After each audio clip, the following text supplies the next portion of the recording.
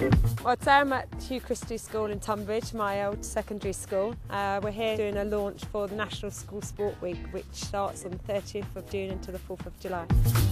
National School Sport Week is where we're trying to get all schools in the country to really celebrate school sport. Um, we're hoping that all schools will be able to demonstrate the school um, sport that they're doing um, at the moment. So by celebrating um, everything that's good about school sport, profiling new events and launching new activities um, that they're doing in conjunction with their school sport partnerships it came about when I had a meeting with Prime Minister Gordon Brown. I was there talking about my role as the National School Sport Champion and said, um, you know, how great I thought school sport was now in schools and actually we should maybe uh, show the positive side of that and wouldn't it be great if we had a National School Sport Week, championed by me of course. So uh, we came up with the dates and uh, between Norwich Union and Youth Sport Trust we've developed National School Sport Week into something really special the aim for the kids and the schools is really that it's a really fun week. Um, it shows all the good work that is happening in school sport, but gives them a chance to express themselves, have fun, um, have different challenges, and just basically make school sport something to be proud of.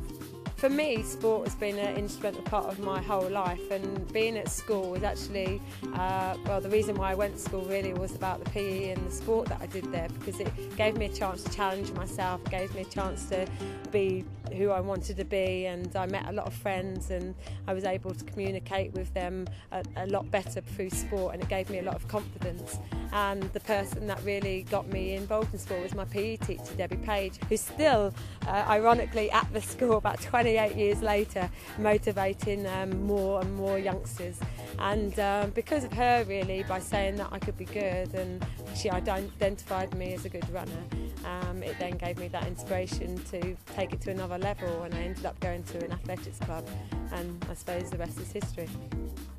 Kelly liked PE. I think that's one of the subjects she enjoyed, but